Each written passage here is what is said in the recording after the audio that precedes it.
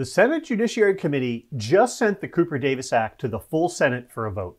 The bill is named for a Kansas teen who died after taking half of a fake Percocet pill he bought on Snapchat. This is a pretty innocuous bill. If you're a tech company moderating your platform's content for safety, when you find a drug seller selling drugs, you just have to report them to the DEA instead of just deleting their account.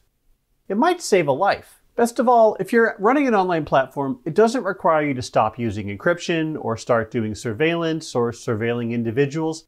And the best part of it all is that the entire thing doesn't apply to cannabis. As far as this bill is concerned, cannabis is not even a question. For a number of years now, drug dealers have used online platforms like Snapchat, Facebook Messenger, Instagram, and TikTok to sell drugs, young Americans are paying a high cost for that. Fentanyl is now the leading cause of death for Americans 18 to 45, and counterfeit pills like the one that killed Cooper Davis are often sold online. Help us stop this problem and get this legislation passed through the Senate by signing this letter to your senators. Our team will make sure they get to the Senate offices that represent you and help get this bill passed. More information at the URL above.